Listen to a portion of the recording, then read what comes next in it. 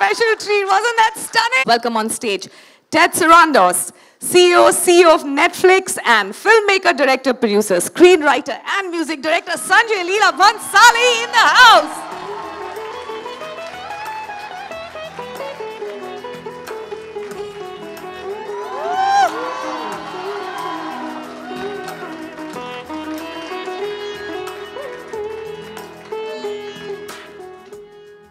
We've started uh, the morning in a fervor and a frenzy thanks to the first look of your wonderful creation. Both of you are the creators, and I can see we've just about begun. Ted, welcome back to India. Thrilled, thrilled to be today. It's amazing. So, what is it? The, what is the first thing you do whenever you have, uh, you know, whenever you come to India on a short visit? Eat. Eat. All right, he's a man after my heart. All right. All right, let's get started. Um, you know, Indian storytelling is what this, uh, you know, morning and afternoon is about. And it, we're having quite the global moment at the moment with uh, Indian creators and Indian storytellers being loved, discovered all across the world. So, what is it that you define as great storytelling, um, Ted? I'd love to know that. And what is it that makes you sit up and say, this is it. This is what I'm betting on. You know, it's funny. It's different for every kind of thing you watch, obviously. But for me, it is a lot of. It's, do I care about these people? Am I interested in this world? Do I want to see what happens to them? uh, and I think that's something you kind of establish early and figure out early as you're, when you're going to do a project. Uh, that's the first question I think you kind of have to answer, uh, which I think uh, Heeramandi obviously answers all those questions. Yes, yes, and yes. Ticks all the boxes, doesn't it? yes. Well, uh, you know, uh, Sanjay, I just want to ask you, you know, Indian content is also, Indian storytelling is also on a precipice of sorts. Um, how so do you... are Indian clothes. So, so are Indian clothes. to the manner born, absolutely. so what, what would be really interesting to know is how you decode and how you understand the audience's you know, tastes changing today. What do you think has changed about the Indian audiences and their preferences? Okay, first I'll answer the question you haven't asked. Which is? Which is, Namaste Ted. Oh. Thank you for being here. It's an honor and pleasure to sit with a person with um, such a vision and um, such a great producer and giving platform to such wonderful work that filmmakers create. So you are very, very important to the whole world of cinema right now. So thank you for being here. And, kind of you, and all my, my beautiful people who have worked with me are here. Uh, I think they want to see me go through the grind. All that they go through, all that I make them go through every day, they want to see me uh, trapped in this, trying to answer questions, difficult ones. And um, we gave him a day off, didn't we? Done. You're on, Sonakshi. And then I have this wonderful um, Netflix team, Monica and Tanya here. Woo! Let's hear it helped Monica. But the most important person in my life is my CEO, Prerna Singh.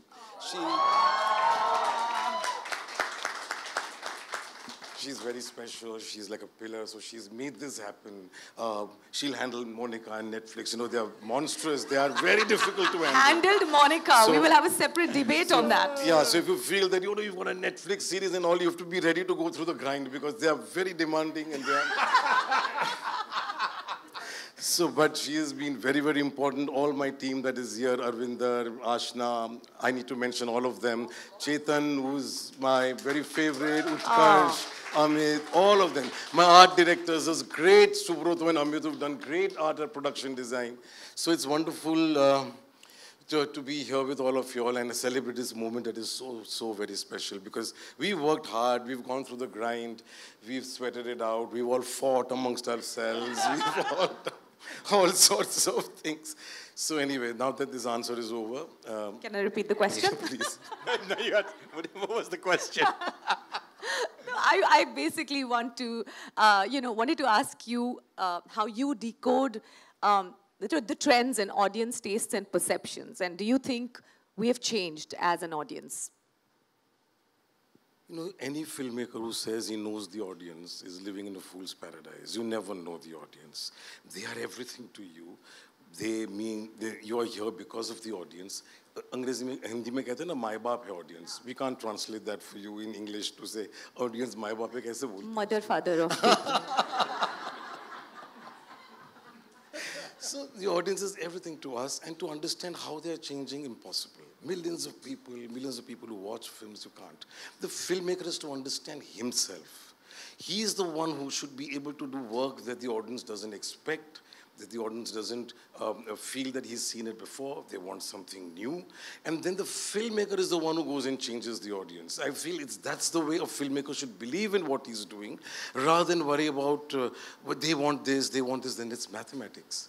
Then you're setting up a project. Then I think the distributor will want this, the ex exhibition the sector will want this, the studio will want this. How do you put all these thoughts together? You just make a film that comes to your heart. You instinctively go ahead and make it, whether people like it or not. You have to be fearless. And if it does well, you feel very happy. If it doesn't do well, you, are you go into depression, which is good because you get up and then again rise and make another film. But never try and understand the audience. Yes, everything has changed. Post COVID, everything has changed. I don't know what people want. They want a spectacular film for the theater. They want very, very unusual out of the box content for the OTT platforms. So their demand is really, I mean, the, the demand of quality that they want from the filmmaker. The filmmaker is now on high alert and he's on guard because he has to now work very hard to give a new treatment, a new subject, nuances. He demands more of the actors. Everybody is to come together and make a, a, a project. You know, people told me, Gangubai, you should not make because it's a it's a woman-centric film. It's a female protagonist. In India, they do not go to a female um, um, subject. I mean, the box office has always never worked.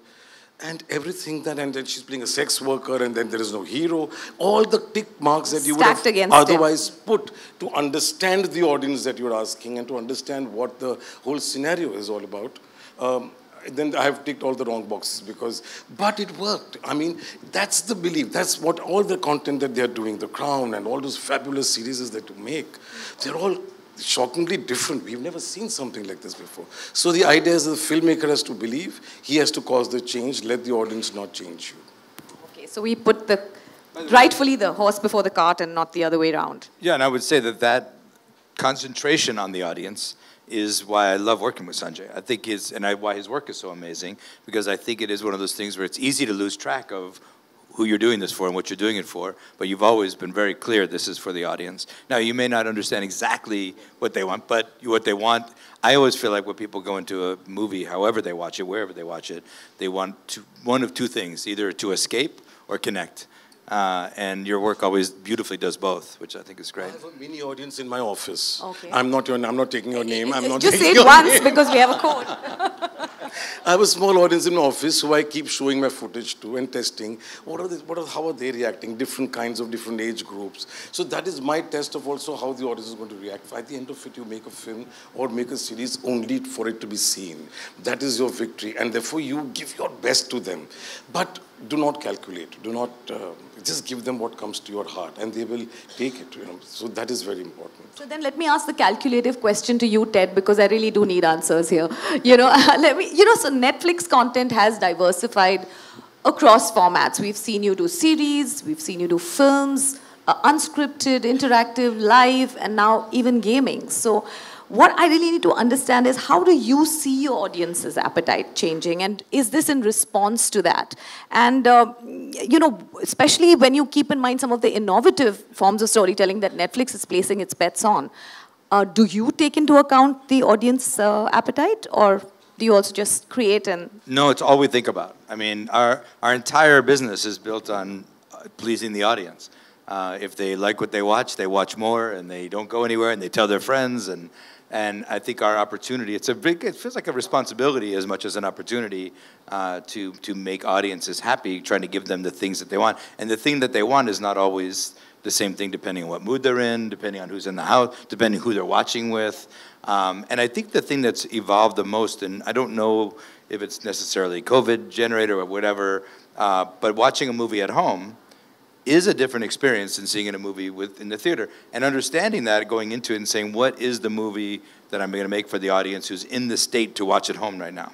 So, meaning they're a little more distracted, they're, you know, they're, they're more likely to be in control of the situation than they are in the theater where they're more willing to surrender.